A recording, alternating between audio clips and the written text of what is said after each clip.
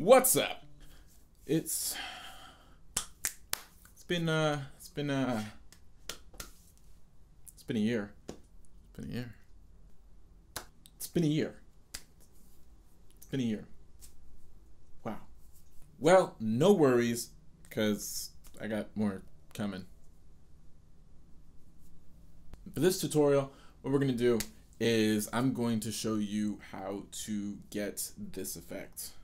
So this is sort of like a condensation effect where like, you, you know, you take a hot shower and uh, you come out and you go to look at yourself in the mirror and you can't see yourself because there's condensation all over the, the mirror there. So you go ahead and you smear it and you still can't really see yourself all that great, but there's this smear on the condensation and yeah, that's kind of the effect that we're going for. But in this case, we're going through, say you were looking through um, a car window after the rain or during early in the morning or something like that, like one of the shots that I'm going to show you. That's what we're going to try to achieve. Um, so that's what I'm going to show you. All right. And we're going to try and keep it as short and simple as possible because uh, that's the way I like it. That's terrible. Just ignore that. Tutorial. All right. So I've got a new project open here and uh, I've got these two images already loaded on my uh, new project. Uh, we're just going to go ahead and get rid of the background. Just hit the lock and boom. Just like that. Um, so let's go ahead and name these. I'm going to name this first one example 1. And we'll call this one example 2. So, and just to keep, I like to color code. So I'm gonna put this one red and this one to blue. Why not? All right, so I've got this image, and uh, it's me just in the car looking out. It's early in the morning. You can even see my breath on the window. Uh, we got this sort of little raindrops, you know, uh, some condensation and stuff like that going on here. So this is a great example for uh, for what we're doing here. So I'm just gonna hold Alt and go ahead and just drag and drop it above and uh, that's just gonna duplicate so if you don't want to copy and paste her that's the easiest way I found.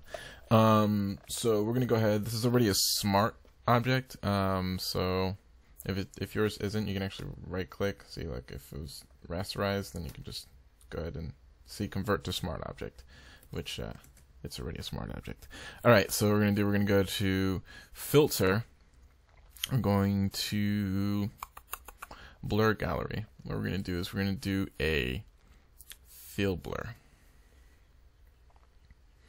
And this I've already got set to 15, which is going to be good. I think we should be good with that. And then we're also going to add a tilt shift right here.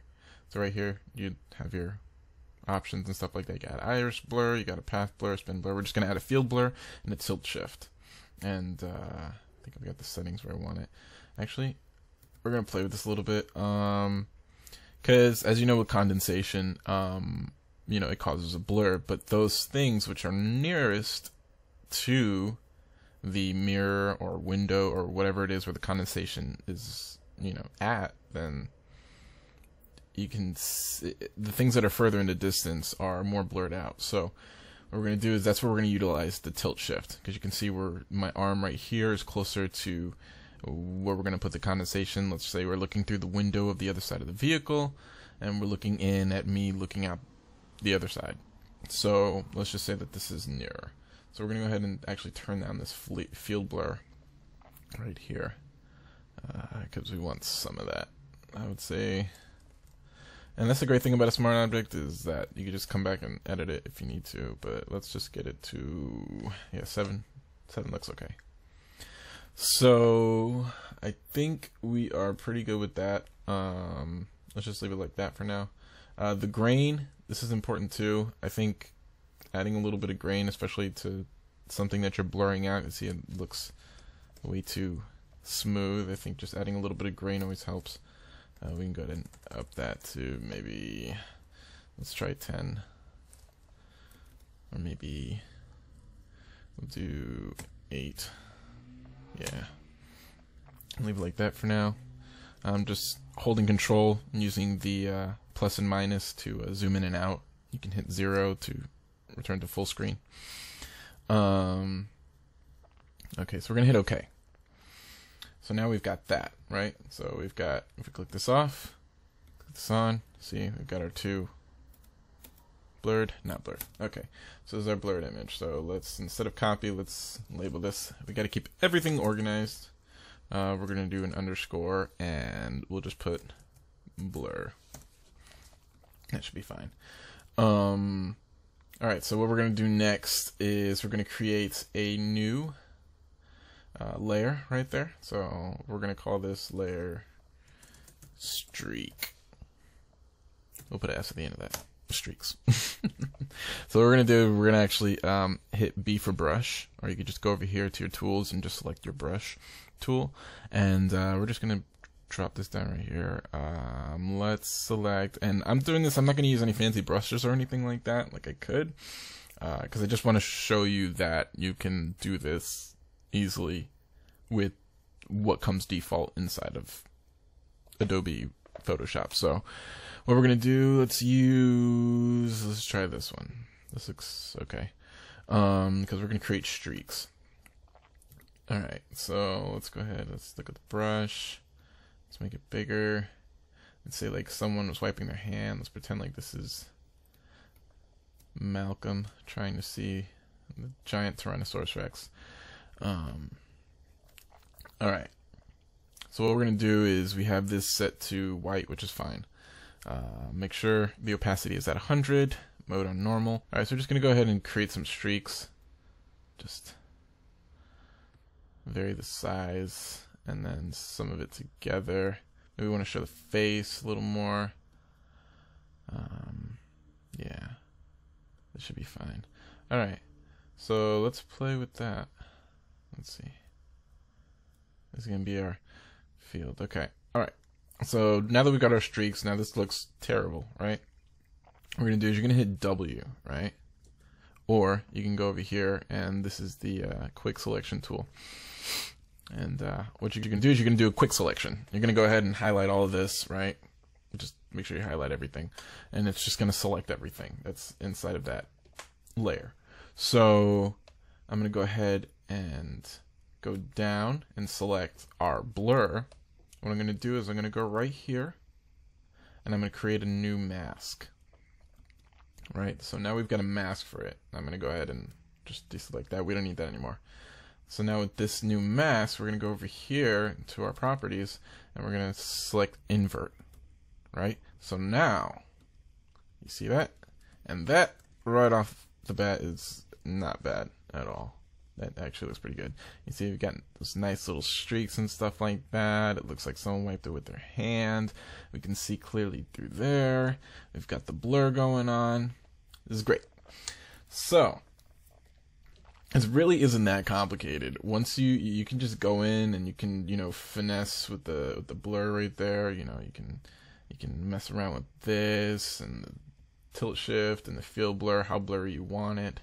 Uh, but I'm not gonna mess with that too much. And you see, this is why it's important to have that grain because you see the original image has grain. So when we blur it, it gets kind of gets rid of it, makes it really smooth, and then it kind of doesn't look part of the image. So maybe we'll up the gain, the grain a little bit. Let's see.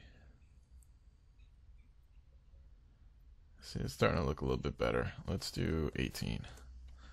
I like to round off numbers. Alright, so we're just gonna hit OK. It looks pretty good. Um, it's looking better. See how it looks more part of the image.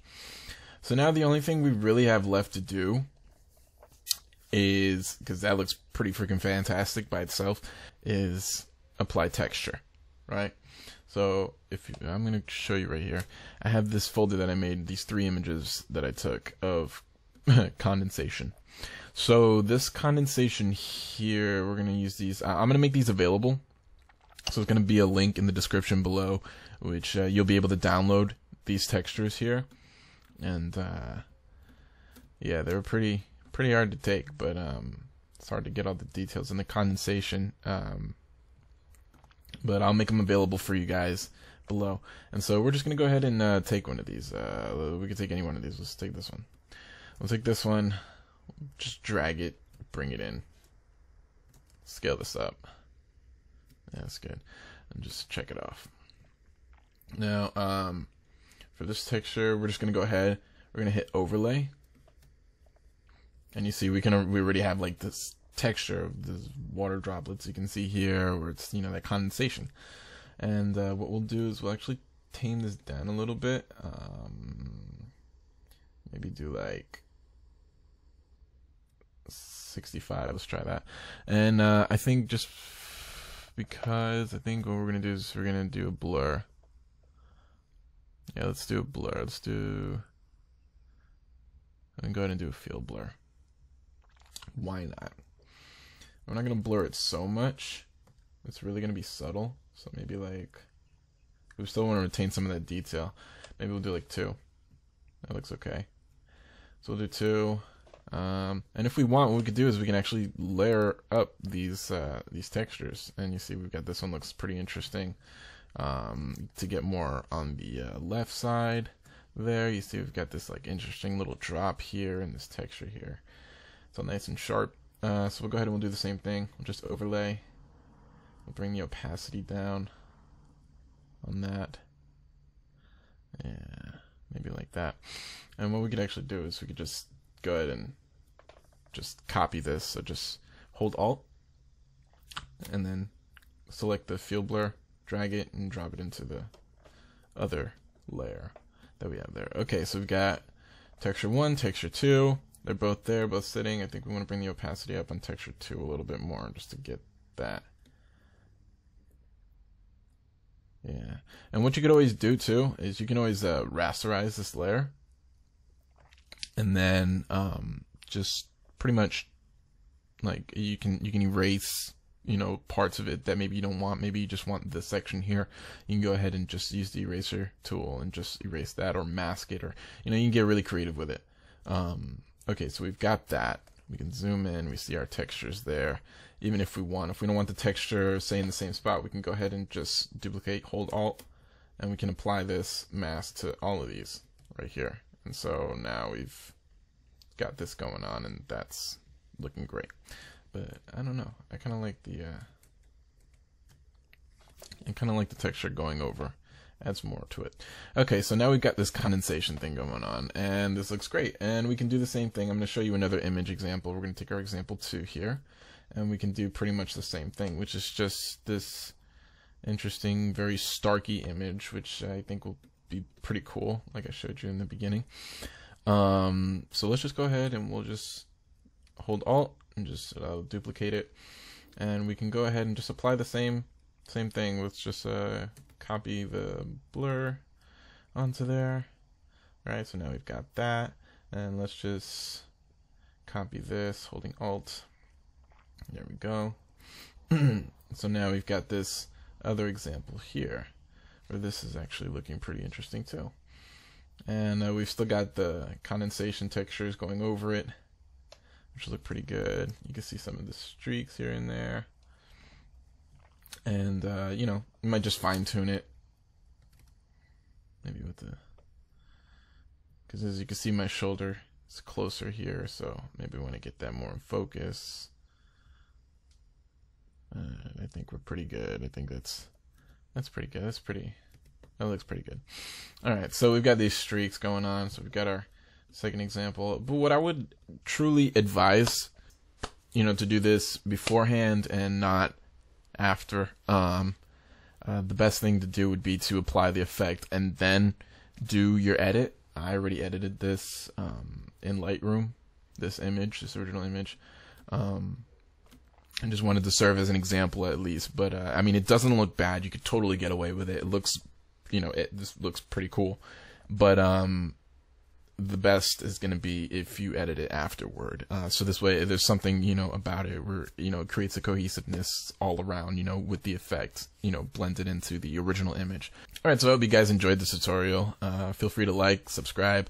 Uh, I'm gonna leave the condensation texture pack um, in a link below in the description. Uh, if you guys want to showcase or show any of your work or anything like that, you know, send me a link or, you know, leave it in the comments below. Um, love to check it out. All right, so I'm Timothy Santana, and I will see you next time.